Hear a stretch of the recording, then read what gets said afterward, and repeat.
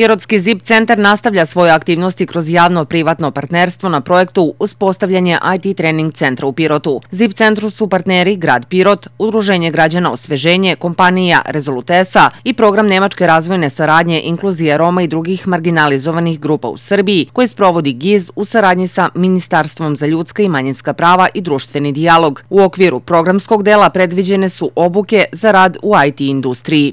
Završen je javni poziv za prijavu mladih, e, trenutno se vrši odabir kandidata, imamo više od 30 prijava.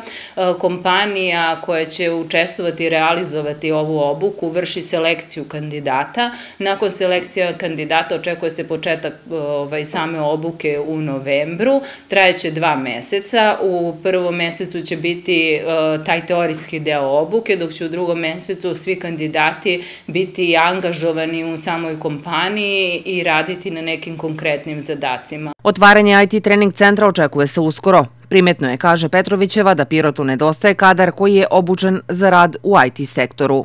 To radimo stalno kroz naše aktivnosti ovaj, ZIP centra, odnosno startup centra i upravo uh, smo i mi i, ovaj, i svi korisnici ovog centra smo prepoznali nedostatak odgovarajućeg kadra u ovom, u ovom sektoru, tako da su nam to neki planovi da, da se potrudimo da organizujemo neke kvalitetne obuke, da uključimo sve kompanije koji će nakon tih obuka moći da, da dobiju kvalitetan kadar za dalje upošljavanje. ZIP centar i grad Pirot otvaranjem IT trening centra dobijaju nov prostor za ubrzani razvoj IT industrije.